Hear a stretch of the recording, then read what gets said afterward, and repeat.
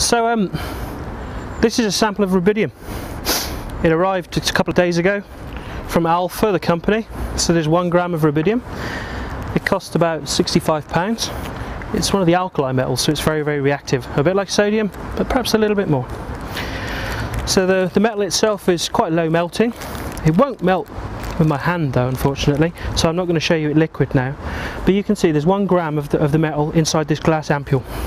It's very reactive, and um, we're going to explore its chemistry now by, by putting this into some water. Well, we've got this really neat device which Neil put together last Friday, and you can see it's, it's, it's got a hammer which is going to break the glass. Show us, Neil. What does it do, mate?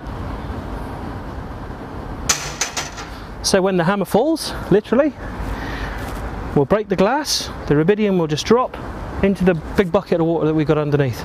Rubidium is an alkali metal that comes between potassium and cesium. And both potassium and cesium are much better known among chemists than um, rubidium.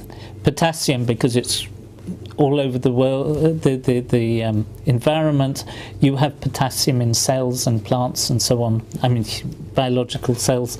Um, rubidium, on the other hand, is quite rare. So I'm going to give the sample now to Neil, and Neil's going to load it, and then we're going to drop the hammer on it. There you go, Neil.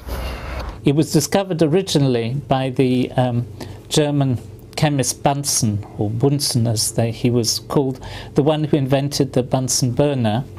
And he discovered it by looking at the colours that you see in flames when he was heating up um, water that came from mineral water that came from uh, springs somewhere in Germany, I believe, or it may have been somewhere in Middle Europe. So Neil is arranging the sample of rubidium against the metallic backplate in the small metallic collider. Rubidium gives a characteristic colour that is different from lilac of um, sodium or, I'm sorry, lilac of potassium or the orange of sodium. The rubidium is slightly more reactive than sodium. So when we did the sodium experiments, we had our safety glasses and, and coat on. But for rubidium, we're going to wear secondary goggles. So here's my safety goggles, which I'm going to put on top. Don't we look good?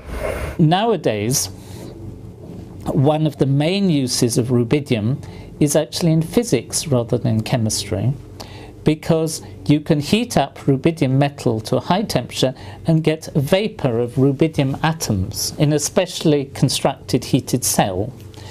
And you can get very interesting effects from um, shining very intense laser light into rubidium atoms.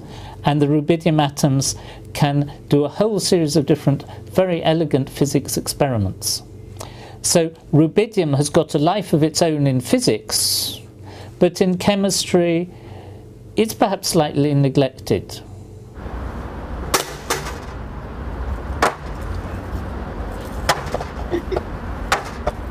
that tube still. Was that it? Don't think I needed my safety screen.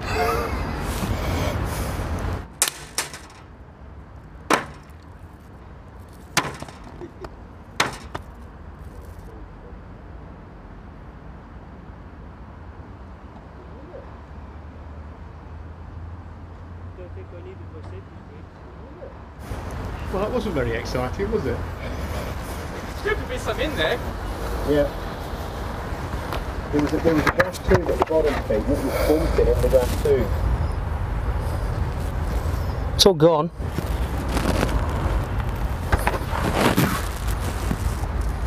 You were right, it was just a fizzle.